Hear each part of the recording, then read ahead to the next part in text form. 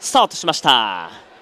ちょっとキープインタッチダッシュがつきません。好スタートを内から関翔間は4番の BB ボイジャー。そして8番のケンブリッジさん。11番マイネルストラーの前を伺います。まずは4番の BB ボイジャーが先頭ですが並びかけていきました。11番マイネルストラーノ外12番のベルデフォはすっと3番手つけました。先団です。その後13番モンテーベレスト。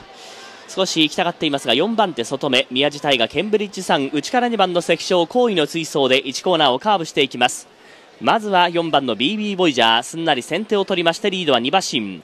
2番手11番マイネルストラーノ3番手は外12番ベルデホ内は2番の関所並んでいきました8番ケンブリッジサント外13番モンテーベレスト10番宮地帯がほとんど差がありません。向こう上面に入りました。中段には1番のサトロネプチューンが続いてここに並んでいきました3番のブレイクラッシュ。やや折り合う書いていますか？外から7番のキープインタッチが接近していきます。2馬審査の追走9番の大隅瑞穂が後方から3頭目。5番の上野笹原をっつけながら後方2頭目最高峰は6番の当選ワープです。3コーナーカーブに向かっていきます。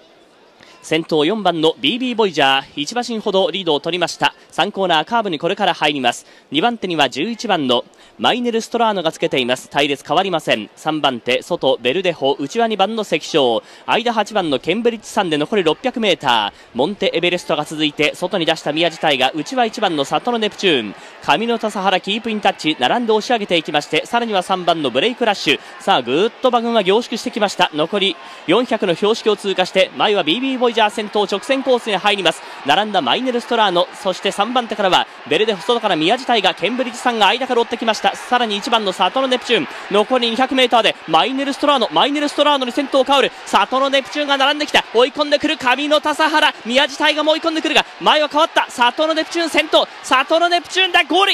2着は11番のマイネルストラーノ。3着5番上野笹原。